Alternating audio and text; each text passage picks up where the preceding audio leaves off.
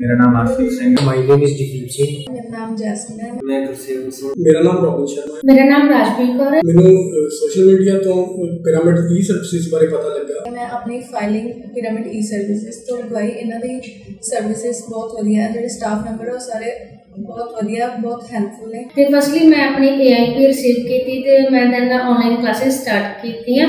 ਤੇ ਮੈਨੂੰ ਲੱਗਦਾ ਇਹ ਐਡਵਾਈਸ ਮੇਰੇ ਲਈ ਬਹੁਤ ਫਰੂਟਫੁਲ ਰਹੀ ਆ। ਇੱਥੇ ਅਪਲਾਈ ਕਰਕੇ ਬਹੁਤ ਵਧੀਆ ਲੱਗਾ ਕਿਉਂਕਿ ਮੈਨੂੰ ਮੇਰਾ ਵੀਜ਼ਾ ਆ ਗਿਆ ਤੇ ਮੈਂ ਬਹੁਤ ਖੁਸ਼ ਹਾਂ and I recommend all my friends and relatives to come there and take their services because they are best in India. Thank you so much Pyramid Visa for a better life.